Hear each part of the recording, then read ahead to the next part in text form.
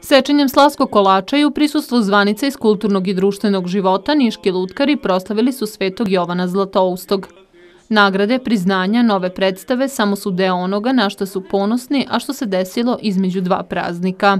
Između dve slave smo mi dobili toliko nagrada da ja ne mogu ni da ih izbrojim, uključujući dva Grand Prix-a, namestili smo sedišta u sali, napravili nove potpuno toalete, dakle puno toga, puno premijera je bilo, ponosna mogu da budem na puno stvari. U istom smeru će se nastaviti u narednom periodu.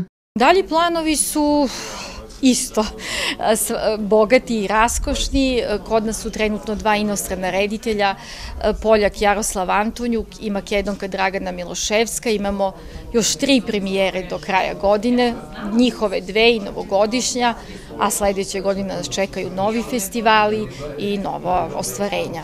Pozorište Lutaka u Nišu postoji od 1977. godine.